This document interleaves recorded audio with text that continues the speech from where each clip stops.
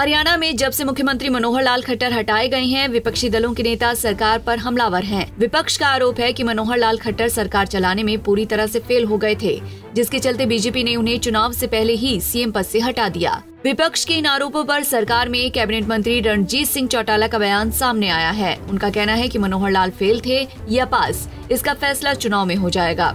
इतना ही नहीं, रणजीत सिंह चौटाला ने इस मौके पर मंत्रिमंडल विस्तार से लेकर खुद के हिसार लोकसभा से चुनाव लड़ने की अटकलों पर भी दो टूक जवाब दिया। सर, कांग्रेस ये कहते हैं कि खट्टर साहब फेल हो गए थे, इस करके अभी नया सीएम बना दिया, ओबीसी कार्ड को लेकर नया सीएम बना। देखिए, उनकी आकलन अब चुनाव में दिख जाएगा कि खट्टर साहब फेल हो गए कि वो फेल हो गए नहीं, मनोहर लाल जी, बहुत नौ साल उन्होंने रिकॉर्ड बनाया। हरियाणा ने हर जगह माइल स्टोन बनाए हैं। हरियाणा आगे बढ़ा है।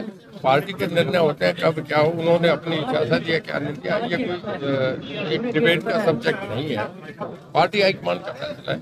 शिवराज सिंह जी को पार्टी हाईकमान ने एक फैसला कर दिया। अब ये उनकी मोदी साहब की, अमित शाह जी की और नड्डा साहब की बात है कि इस मंत्रणा से गए। उन्होंने आज भी हमारे वो माननीय मुख्यमंत्री कैबिनेट का सर कब तक विस्तारीकरण हो गया? देरी क्यों हो रही है? साहब भी नाराज़ कर चल रहे थे उनको मना लिया गया। ये ये चीफ मिनिस्टर का प्रेरोगेटिव है किसको मनाए करें नहीं है वो उनका फैसला किसको देंगे फिर उसके बाद विभाग भी बंटेगा हो। जाएगा सर सांसद ब्रजेंद्र सिंह ये कहते हैं कि गठबंधन जो जेजेपी बीजेपी का अभी भी पर्दे के पीछे चल रहा है अमित शाह ने भी अभी उन्होंने कहा है कि हमारे रिश्ते इनसे ठीक है। तो क्या कहेंगे गठबंधन तो अब टूट चुका है। देखिए इस पे तो वही बता सकेंगे या तो जो बता रहे हैं अमित शाह जी का आप कह ही रहे हैं और जेजेपी से पूछ रहे हो वो भी यही कहेंगे वीरेंद्र सिंह जी की बात ना वो गठबंधन में है वो कांग्रेस से चला गया उनकी बात को करें और आपका सर इशार लोकसभा से चल रहा था सांसद देखिए पार्टी का निर्णय मैं मुख्यमंत्री जी से कहा आप इशार लोकसभा लड़ो विधानसभा लड़ो आपका फैसला दोबारा पूछूँगा नहीं जो निर्णय होगा मानो। क्या लगता है सर हरियाणा का लोकसभा का कैसा परिणाम रहेगा मेरा अपना मानना है कि हम सभी सीटें जीतेंगे। आप दस दिन बाद देखना, बड़ी तेज से ऐसा लोगों में लहर चलेगी कि केवल मोदी साहब का, मोदी साहब का आज जनसभा में इस तरह की भी मांग उठाई, आप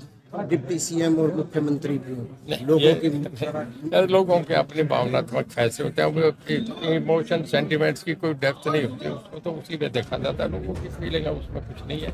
निर्णय हाईकमांड करता है उन्हें पता बता दें कि नायब सैनी सरकार में कैबिनेट मंत्री पद की शपथ लेने के बाद रणजीत सिंह चौटाला आज हिसार की जाट धर्मशाला में पहुँचे थे जहाँ कार्यकर्ताओं ने उनका जोरदार स्वागत किया। इस मौके पर मंत्री चौटाला ने मंत्री बनाने को लेकर बीजेपी हाईकमान का धन्यवाद किया और साथ ही ये भी कहा कि मैं बीजेपी के टिकट पर चुनाव लड़ने के लिए तैयार हूँ, चाहे लोकसभा का हो या फिर विधानसभा का। हिसार से विनोद सैनी, पंजाब केसरी टीवी।